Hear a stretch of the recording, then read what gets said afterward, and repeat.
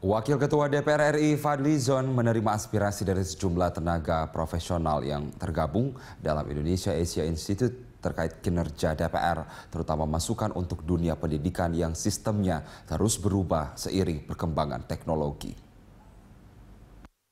Wakil Ketua DPR RI Fadli Zon menerima aspirasi dari sejumlah tenaga profesional yang tergabung dalam Indonesia Asia Institute terkait kinerja DPR terutama masukan untuk dunia pendidikan yang sistemnya terus berubah seiring perkembangan teknologi. Fadli Zon mengatakan, sebagai lembaga wakil rakyat, DPR RI memerlukan masukan dari berbagai disiplin ilmu. Menurut Fadli, informasi yang diperoleh dari tenaga profesional banyak manfaatnya, terutama dalam proses pembaharuan undang-undang agar sesuai dengan kebutuhan dan kondisi dunia pendidikan saat ini.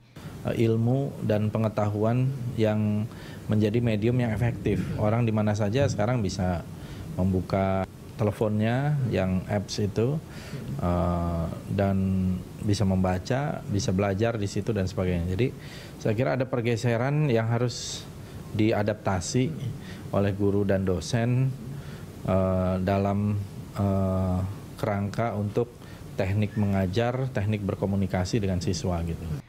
Fadlizon meyakini perlu adanya pembagian peran yang jelas dalam jenjang pendidikan untuk mengantisipasi arus teknologi yang tidak bisa dibendung. Salah satu yang harus ditekankan adalah mengenai pembentukan karakter anak. Menurut Fadli, pembentukan karakter harusnya menjadi fokus sejak level pendidikan yang paling awal, yaitu ketika anak-anak berada di bangku taman kanak-kanak dan sekolah dasar.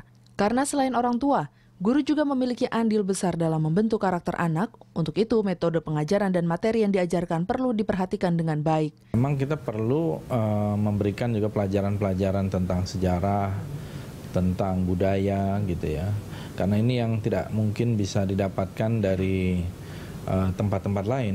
Itu sangat lokal spesifik dan uh, menurut saya ini yang penting untuk di uh, kedepankan di masa-masa uh, pembentukan awal dari siswa. Naomi dan Bani, TVR Parlemen, melaporkan.